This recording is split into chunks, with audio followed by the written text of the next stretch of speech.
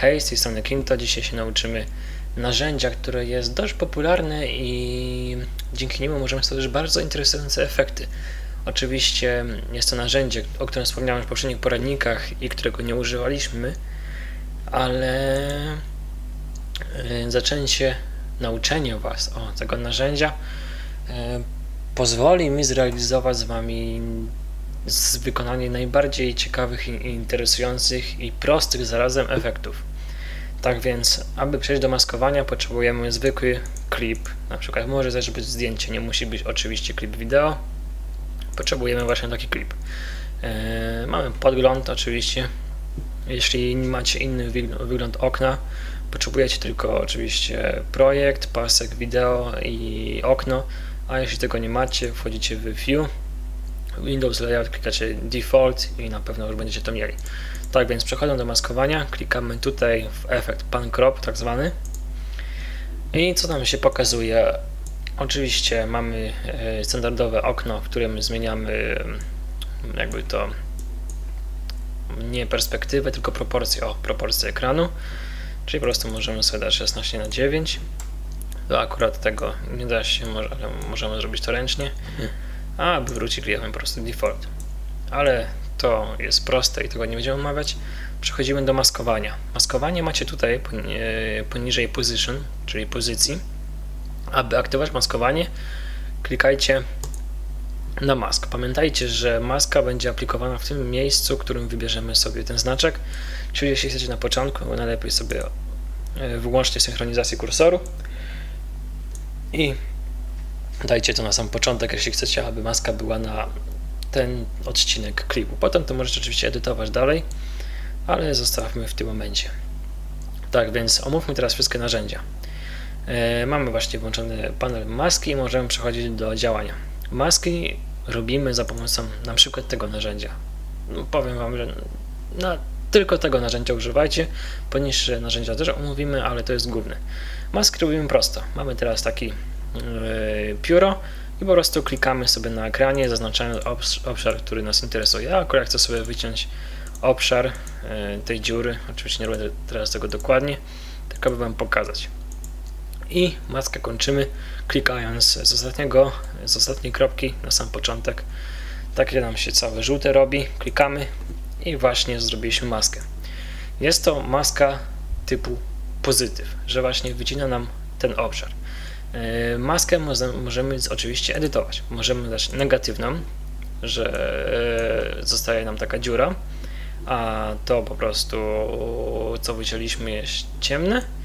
No i oczywiście możemy wyłączyć całkowicie nasz e, widok, ale mnie interesował oczywiście negatyw. Tu coś się złego zrobiło. Przybliżę, aby czemu tak się stało. Możemy to oczywiście edytować, tak tylko trochę. A, teraz zrobiłem zaokrąglenia, nie chcę zaokrąglenia, to cofamy. I dajemy tutaj, i dajemy też tutaj, tak od biedy, aby tylko było. Ok, i mamy coś takiego. Teraz omówmy kolejne właściwości. Anty-alias to stawiamy na yes, nie zmieniamy tutaj, opacity po prostu przezroczystość maski, ale opcja feeder, czyli taka jakby złagodzenie krawędzi, jest najbardziej kluczową i najbardziej interesująca. Mamy trzy opcje. Mamy in.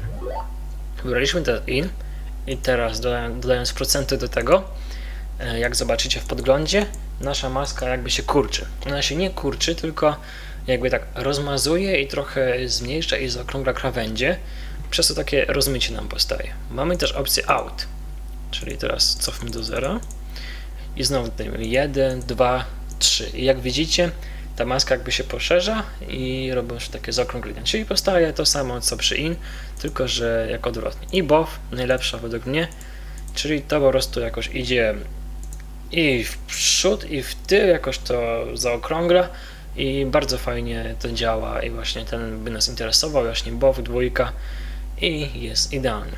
To omówmy teraz narzędzia. Narzędzie e, to samo pióro, tylko z minusem. E, służy usuwaniu punktów. Na przykład mamy masę punktów i w kolejnej klatce, jak mamy maskę, która się zmienia, e, usuwamy dany punkt. Po prostu klikamy tutaj i on właśnie został usunięty i mamy dwa. Oczywiście on jakiegoś tam nie działał, nie miał swojej funkcji, bo tu w sumie mamy linię prostą. Tak samo ten możemy usunąć I właśnie mamy maskę po prostu z dwóch punktów. Co robi nam Minimize? Split. Na czym to polega? Czyli odwraca to po prostu funkcję tego, bo split, klikając tutaj, dodaje nam taki punkt, który potem możemy znowu usunąć oczywiście. E, opcja tego to służy robieniu, to jest kolejne narzędzie do wyboru o obszaru maski, po prostu zaznaczamy sobie takie coś i właśnie to jest nasza kolejna maska. I wybieramy sobie negatyw i mamy właśnie teraz kwadracik wycięty, jak widzicie. A my go usuwamy deletem, bo nas nie interesuje. Kółko działa tak samo. Też mamy kółko, wybieramy sobie negatyw i mamy dziurę. E, lupa to oczywiście przybliżenie, jeśli działamy na małym obszarze. To nas nie interesuje, a to po prostu służy, że po prostu o, pokażę. Jak chcemy przesunąć punkt, to mamy domyślnie takie coś, czyli możemy ten punkt przesuwać obojętnie jak chcemy. A teraz klikając tutaj, mamy tylko w poziomie, czyli ten punkt nie mogę dawać do góry, chociaż bardzo bym chciał, a potem yy, pionowo, czyli mogę tylko pionowo dawać, a w boki nie mogę dawać niestety. No i oczywiście stawiamy default. To tyle z tych narzędzi głównych do maski. Mogę Wam jeszcze pokazać, jak maskę edytujemy poklatkowo. Czyli na przykład w tym obszarze dzieje się, oczywiście nie widzimy tego, dzieje się coś innego. Klikamy sobie tutaj na dole plusik, dodaje nam to kolejny keyframe. Nie wiem jak to po polsku, po prostu jakaś kolejna klatka, której coś się zmienia. I teraz na przykład dajemy sobie tak, bo zresztą się niby ruszyło. Potem sobie dajemy tak i potem sobie dajemy na przykład tak. I jak widzimy, nasza maska, może to puszczę, patrzcie na preview, ulega zniekształceniom w czasie. I tak się edytuje pozycję maski, to zależnie od klipu.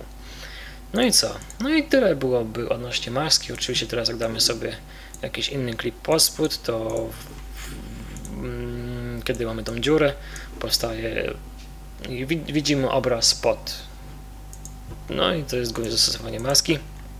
Maska strasznie ułatwia otwiera nam wiele wrót do edycji wideo. I w kolejnym poradniku zobaczycie pierwsze zastosowanie maski w przejściu, które naprawdę będzie nam działało dobrze. I właśnie wymyśliłem, że użyjemy tej maski, która jest właśnie tu widoczna i zrobimy przejście z wykorzystaniem tego materiału. Także do zobaczenia i widzimy się wkrótce w kolejnym poradniku.